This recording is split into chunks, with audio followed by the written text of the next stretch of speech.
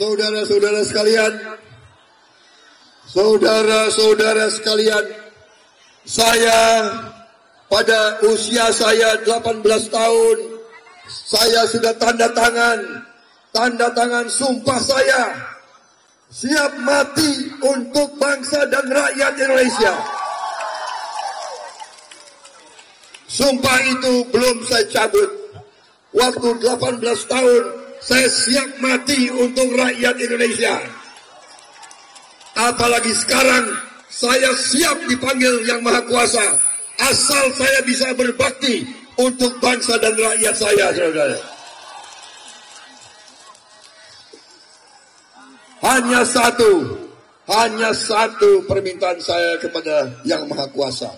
Ya Allah, berikanlah ya, berikanlah saya kesempatan sebelum saya dipanggil, berilah saya kesempatan melihat rakyat saya hidup sejahtera. Melihat kemiskinan hilang dari bumi Indonesia. Melihat koruptor-koruptor kita usir semua dari Indonesia. Kalau perlu ditaruh di pulau,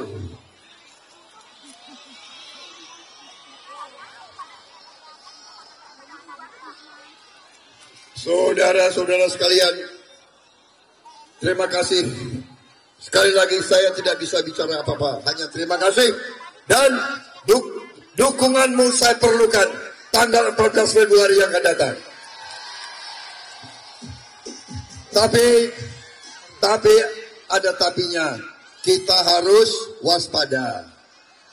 Karena kita dapat dapat laporan ada niat-niat tidak baik dari kalangan-kalangan tertentu. Mereka katanya mau merusak surat-surat suara kalian. Jadi hati-hati, ya. hati-hati, periksa surat suara dan awasi semua petugas. Jangan sampai ada surat suara yang dirusak.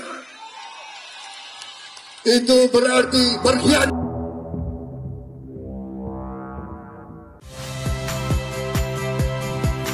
Saya Cynthia Rompas.